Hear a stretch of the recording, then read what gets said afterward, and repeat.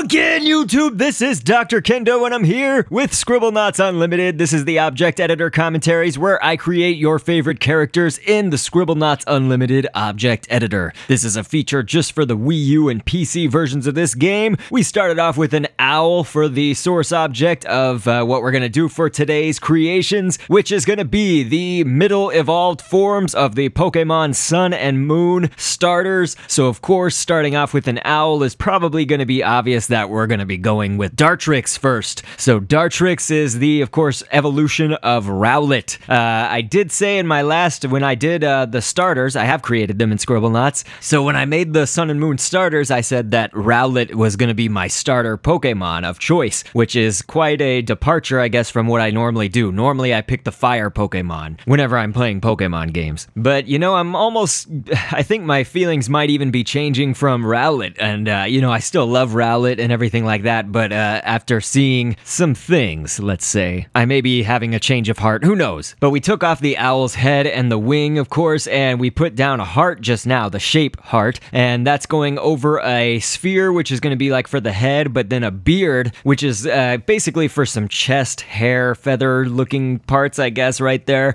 where uh, Dartrix's chest would be. And so, of course, I moved the legs, the, you know, the front leg, I guess, of the owl will be over the body. It'll be in front of the body or whatever by layers. And so I did move it behind the body. So hopefully you notice that too, that both legs are behind the body as far as the layers go and uh, the order that they're in. A moon is what I typed in for the crazy hair flipping action of Dartrix. You know, he can flip his hair like an angsty teen or an emo. And so uh, the moon, there's one that's behind the heart shape and then one that's in front, you know, to kind of give the illusion that one strand of flippy hair feathers is uh, a little bit bigger bigger. A lanternfish, the back tail piece is what we just put over a golden egg to be kind of where the beak is for uh, Dartrix right here. Kraken, taking any of those kind of bended tentacle pieces kind of near the end of the tentacles uh, right there are going to be for Dartrix's eyes with Shark Pup, that middle fin in the back that is kind of pointing downwards. Those are for the two chest feathers right there, just like Rowlet kind of has the chest feather bow tie. Dartrix has that right there. A Teratorn is what we're putting down now for the wing right there, and we're also going to copy those shark pup fins, and we're going to place those where the tail is uh, over the owl in Scribblenauts, but that'll kind of be a good placeholder for where we actually want Dartrix's little two shark pup tail pieces to be. The Teratorn wing was just moved in a little bit, closer to the body, and I've typed in pill, and the pill is just because Dartrix's legs are a little bit thicker, I guess, you know, there's uh, just a little bit more wide than the owl in Scribblenauts. So the red part of the pill I colored orange, and the other part we can leave white. And so then I just took that Teratorn wing and put it on the backside as well, you know, kind of so that there are two wings visible. Now, the only problem with this in Scribblenauts is that an owl in this game, you can only see one wing moving for the owl. So it's kind of implied, of course, that it has two wings, but all you see is the side that's closest to us. That wing will be flapping up and down when it flies. So the same is going to happen here with our owl creation for Dartrix in Scribblenauts. Uh, I took a jellyfish upper tentacle piece and oval ovals. Ovals are on the wing. Just type in oval for the little orange oval shapes on the wing. But yes, you're going to see Dartrix only fly kind of with one wing, unfortunately, because of the limitations of Scribblenauts Unlimited. Yes, it's called Scribblenauts Unlimited, but it is limited in some ways. But here we're on the properties editor where I just like to read background information and fun facts about the characters that we create in this series. I'm going to be reading off of the Pokemon Sun and Moon website directly for most of these, so we'll read kind of the last paragraph for Dartrix. It says, At times, Sometimes this Pokemon feels so bothered by its dirty or ruffled feathers that it can't focus on battle. When it loses its focus, it sometimes even retires from the battle on the spot. It's up to each trainer to help Dartrix overcome this troublesome stage. If this Pokemon is with a trainer who helps it through, its strength will grow hugely. And so we did kind of basic scripts, just made it shoot out a leaf as a projectile, and a few other things, just made it brave whenever it loses or gains health in the scripting. And so uh, we'll go ahead and start off with a Chimera as the source object here for our next character, which, if it isn't clear, is going to be Torracat. So now I just typed in a bunyip after removing a whole bunch of, you know, limbs. We removed all the little legs, the bottom parts of the legs, the last tail piece, and the head, and we took the bunyip's back legs to be the back legs for Torracat, but we're also going to type in bunyip once more and just grab this now front leg to be for the front legs of Torracat. And uh, definitely, you know, in comparison to Litten, Litten was my least favorite of the uh, starters that was revealed and everything back when they did reveal the starters for the first time. But definitely with the uh, new introduction of Torracat, I do believe that uh, it is a lot cooler now. I, I like Torracat a lot. We just took the body of a dagger tooth, the middle part of the body, since the dagger tooth kind of has multiple body pieces and stuff to it that it could have been. And we're also going to try that on for the tail. I may end up changing this. I'm not positive yet, but just to kind of get the tail going here, we're going to type in a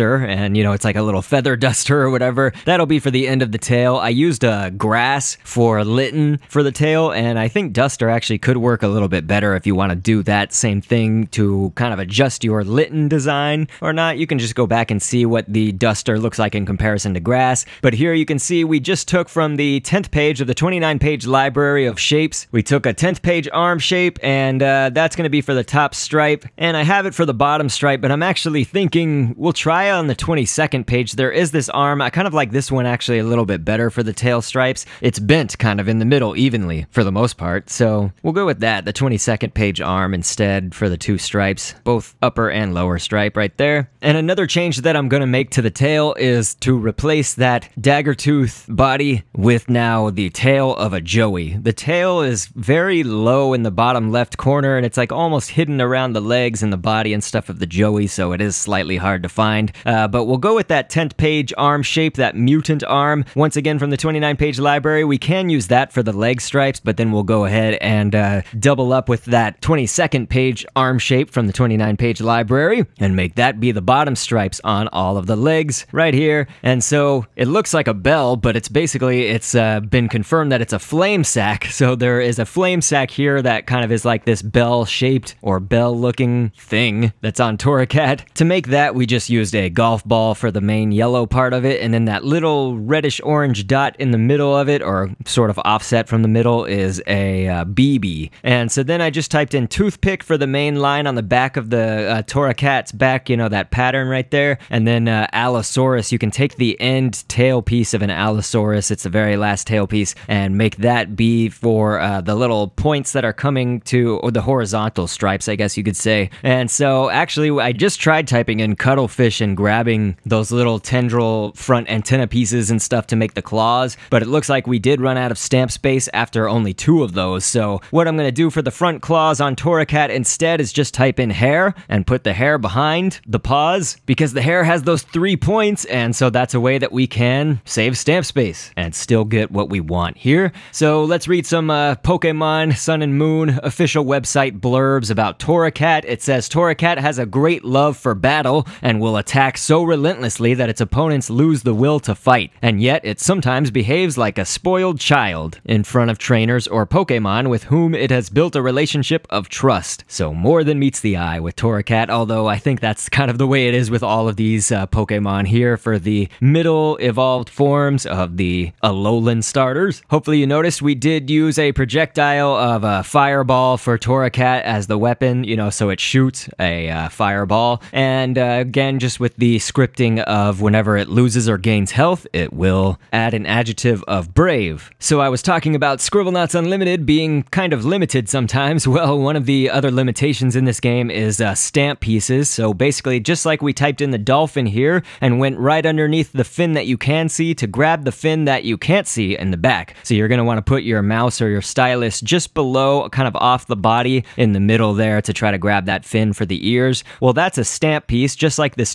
toothpick is that we're using. Those are all stamps, you know, whatever you use to create your object overall is a stamp piece. And so what I'm saying is that Scribble Scribblenauts Unlimited is actually limited in how many stamps you can use to create your object. So we did run out of stamp space for Torracat's body, and that means that we're going to want to, of course, make the head separately from that. So that's what I'm doing here. We did start off with the head as the source object, if that wasn't obvious, and uh, we used the cuttlefish antenna piece. Really, you can use either of the pointy triangular ones for the horizontal stripes on the forehead, but then Allosaurus, the back tail piece once again, will be for the horizontal stripes down there, kind of closer to the eyes. And I'm typing in a blobfish, and we'll take the back tail piece of the blobfish, paint that sort of an off grayish color, and make that be for some fluff inside the ears. You know, this detail right there for the dolphin ears. Same 22nd page arm shape from the 29 page library. That's going to be kind of for this muzzle right here and uh, that snout area for Torracat. That. Then I took, a, I typed in crab, and you can just take the front pincer, you know, its claws right there, and those pinchers will actually be for some tufts of hair going off to the side. And a, an ostrich egg is going to be for the eye that is closer to us, I guess you could say, our left. But then the eye on our right, Torracat's left, is a golden egg. Just a difference based on how wide they are. They are very close together in size and shape and all that. Uh, pike, we took the kind of middle front fin for the pike, or that front fin, I should just say, maybe not middle. And that's going to be for the small little nose of Torracat here with the rat tail being the mouth and uh, paint the rat tail all black, as black as night. And so we'll go with the cuttlefish again, but grab that tendril piece that is triangular, but that's kind of all the way to the right for its uh, front tentacles. And uh, here we go, Torracat head. I'm going to save this while I'm at it just so that there's no errors. But that little cuttlefish piece was for a tooth. And then after that, we'll just be typing in dot, and the dot can be sort of of this orangish red color with another dot to be the black right there so that the eyes are kind of having this multicolored look to it. Looks good to me. I took another golden egg to put behind that golden egg that we have for the eye and then an ostrich egg that we had for the eye for the ostrich egg and both of those were painted black. Basically, imagine like it had eyeshadow on or something like that, you know, so uh, just for some more black around the eyes, both of them. That same cuttlefish piece will be for some more hair kind of coming off of the chin right there on both sides. And if you ever create a head and a body separately in Scribblenauts Unlimited on your head object, you want to go to the equipment tab here in the properties editor and check off that third circle that says can be worn on the face like glasses. And that way it'll kind of be arranged mostly how you want it to be when you give the head piece to your body object. So we'll start off with a seal for our last creation today. Well, I guess we have the uh, head and the body separately, I think, because we're probably going to run out of stamp space with Brionne's body but this is Brionne, and I'm so sad, but both my wife and I knew that Brionne was gonna get a ton of hate because just like Popplio got hate, Brionne is, uh, I think people are claiming that it's too feminine and all that stuff, like femininity is a bad thing or something. I don't get that, we'll talk about it in a second, but uh, Golden Egg is gonna be for the main base of the tail fins, but then an oval that's painted white is gonna be behind those golden eggs, so for those tail fins back there, and hopefully you notice we took off the head, of course, and I put down a tutu and painted those white. There's two of them, and then in between those two is going to be mud. So that's basically for like this dress looking part of Brionne. And right now I'm placing a circle down where the head is supposed to be, but that's more just for a placeholder because again, I think we're going to have to create the head and the body separately. And so then I'm going to grab the Joey tail once again, but I'm going to set it aside just real quick. Uh, we want to, of course, take a golden egg now once again for, it's going to be basically the paws of Brionne right here, and then we can put that Joey tail back on in place underneath those paw golden eggs. Jellyfish upper tentacle piece, again, it's like the, it's just a, basically a straight black line, and it's right near the jellyfish's body and everything. We'll do that four times, twice for each paw. Now we're gonna name it Brionne, and we'll talk about it, and then we'll talk about maybe some of the controversy, but basically the website says Brionne always acts cheery and positive. Even when it's feeling sad, this Pokemon doesn't allow its sorrow to show. It's said that Brionne will only reveal a sad expression to a Pokemon or trainer whom it has opened its heart completely. It seems the hate has already set in for Brionne, as I mentioned, which would be fine if you didn't like the character just on simple grounds of, eh, I'm just not into that look by itself. But when you throw in those kind of cringy comments like, quote, this is a real one, God, why does it look so feminine? That's stupid. I'm not playing the game, end quote. Or, this one was real good. Another real one. Quote, I don't want to go racist, but I hope that's Brionne's female form. End quote. Racist.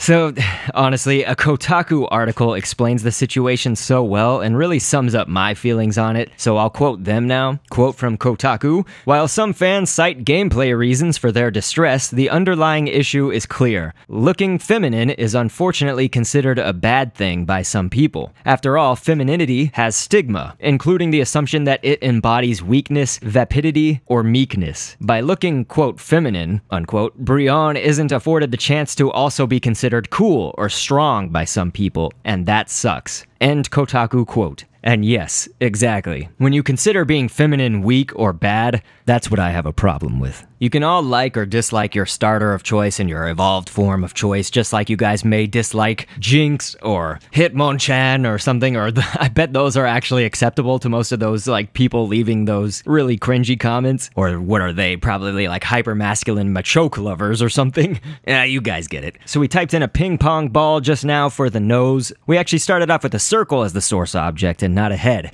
Normally I do start off with a head, but it's just a circle. We took the body of a rabbit and the rabbit body is just right next to that ping pong ball nose for our Brionne head here golden egg painted white for the eye, an amber is that first starting piece of the ear, and then a chicken nugget is what we're going to use for the main part of the mouth, but we're also going to put the tongue in there by using oval. Paint that oval this kind of reddish pink color and place that in there, and it can take up most of the space inside the mouth. A scorpion, that upper middle tail piece, that'll be for a little tooth in there inside the mouth, and uh, we'll take another amber for the ears on the other side. We won't finish those off just yet, but uh, I put down an oval to be sort of, I guess, guess it's like the pupil, or maybe it's the iris of basically Brionne's eye, kind of that main blackish colored part right there. But then another golden egg is behind the white golden egg, just peeking out over the top. We just want a little bit of the top to show. I painted it all black and then put a boomerang that's all black behind that. And those are basically for like some kind of eyeshadowy eyelash look for Brionne. And then I went with a cuttlefish. If you grab kind of the, it's like almost a line, but it's in the very middle right next to the head of the cuttlefish. So, like the very middle tentacle tendril, that is where I grabbed that piece from that's painted sort of reddish orange for some more color inside of Brionne's eyes. And then a P, P E A is what we typed in for the white little shiny dot in the eye. And a ping pong ball painted white again is going to be for the middle ear connector piece right there. And a golf ball is going to be the next piece that we're doing painted white uh, to be sort of for the top of the ears. And I like how this is turning out. I think it actually looks a lot like the Brionne's head from the announcement trailer. So that's epic. So we'll name it Brionne Head. There you go. So again, remember the scripting whenever you're doing the head and the body separately. Just go into the properties editor and uh, of course go down to the equipment tab, press that and uh, make sure it can be worn on the face like glasses. That's the third circle down from the top. And so here we go. We've got pretty much all of our creations because we've got the uh, starter Pokemon from that last episode that I did with them. Uh, you know, you can see Rowlet right here. Dang it, I just made it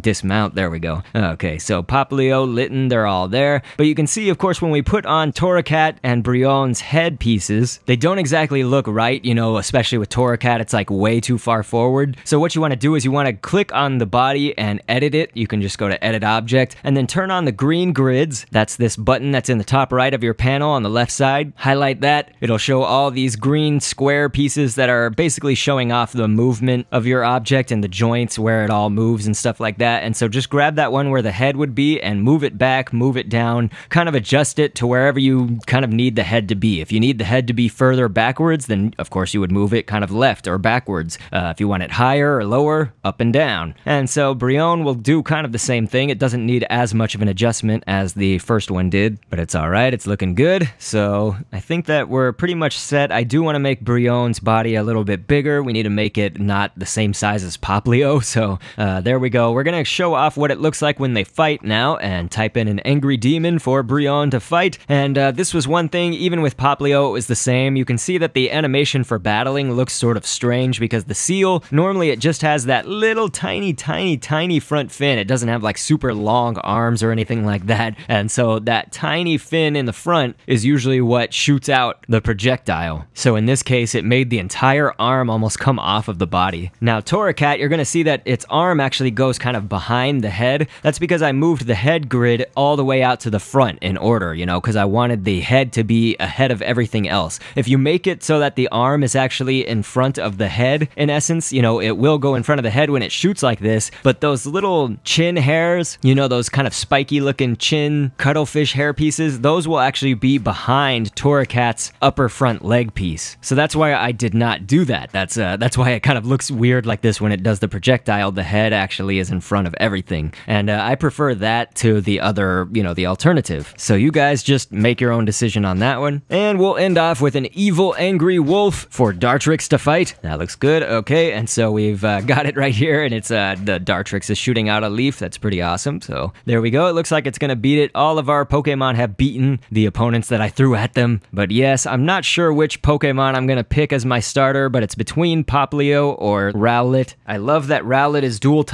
grass and flying, but just seeing how kind of discriminated against, I guess, Popplio has been, and now it's evolved for him, I'm really leaning towards Popplio. I want to be in its cheer section. Honestly, to me, it's a really cute Pokemon, and uh, I think all of the starters can be deadly and can be awesome in their own regards. Pick the one that's great for you. Don't give anybody hate for picking something else. And I hope you guys are looking forward to the games. I'll catch you on the next vid, and thanks for viewing. Down the road and